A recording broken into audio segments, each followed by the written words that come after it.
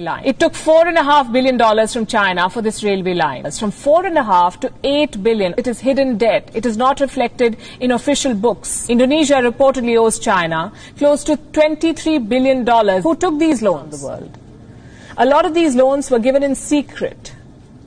They're calling them China's hidden loans. And they're burning a hole in the pockets of the borrowers. If China's economy collapses, these countries will all suffer. And that's just part of the problem. Hidden debt hurts all of these countries. Let me give you the example of Indonesia here. Indonesia wanted to build a railway line. So it borrowed money from China. It was a very bad idea. Indonesia is learning the hard way.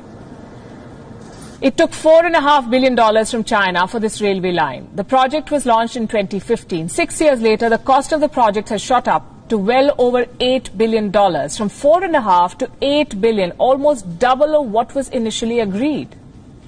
Now, what do you do? You cannot abandon the project midway. So Indonesia is dipping into its own state budget to pay for this railway line. And this could be just the beginning of its troubles. Most of the money Indonesia has borrowed from China is off the books. It is hidden debt. It is not reflected in official books. Officially, Indonesia owes China close to $5 billion. Unofficially, Indonesia reportedly owes China close to $23 billion. That's $18 billion of hidden debt. 78% of Indonesia's debt to China is hidden.